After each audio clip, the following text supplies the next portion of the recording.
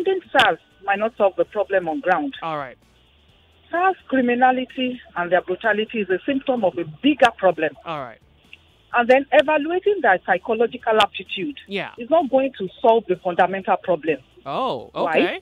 Why? Because we have built a society where values have no say. We have built a society where mediocrity and evil is celebrated and preferred.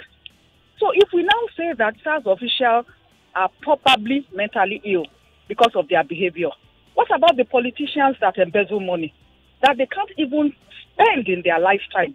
Are we going to say they are mentally ill too? Are you, uh, can you hear me? Uh, Look, I'm I'm I'm thinking. I'm Okay. I'm thinking Now- about what you're saying. Yeah, I haven't finished.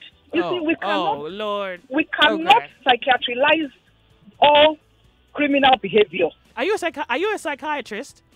Yes, I am. Oh, you're telling us not to bother about the excuse of psychology. Yes, Oh, yes, okay. because is, uh, because you cannot say that if somebody behaves badly, that that person is mentally ill. This is a moral question. This is a moral question. This is a moral case. We need to build a society where there are consequences for bad behavior. The people that embezzle money meant for police welfare, what is what has happened to them? When people know that they will be jailed for any negative act, everybody will fall in line.